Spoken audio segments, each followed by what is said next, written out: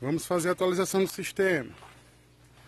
Os parâmetros dessa semana ficaram assim.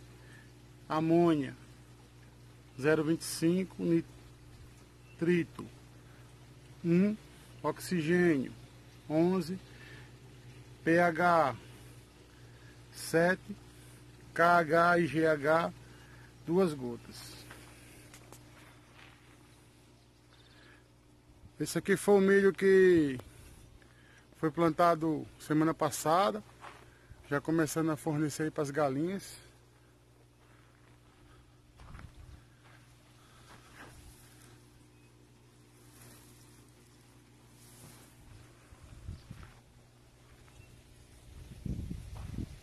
Esse aqui tivemos o problema aí, né, do escorregamento.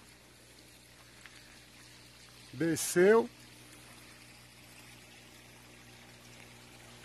Mas teve um crescimento bom aí, né? Não, não teve chuva, aí não teve excesso de água. Aí nasceu